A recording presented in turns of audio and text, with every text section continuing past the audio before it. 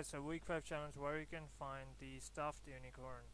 So basically, um, if you go to the agents, the third one, the cat one, uh, will will be unlocked in 8 hours.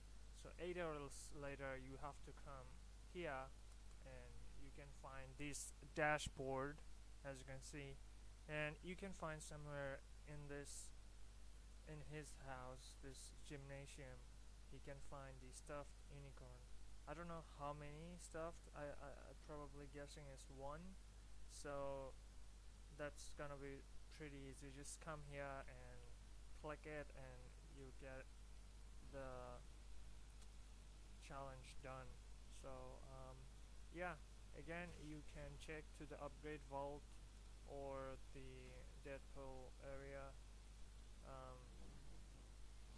but I'm sure you can find on there.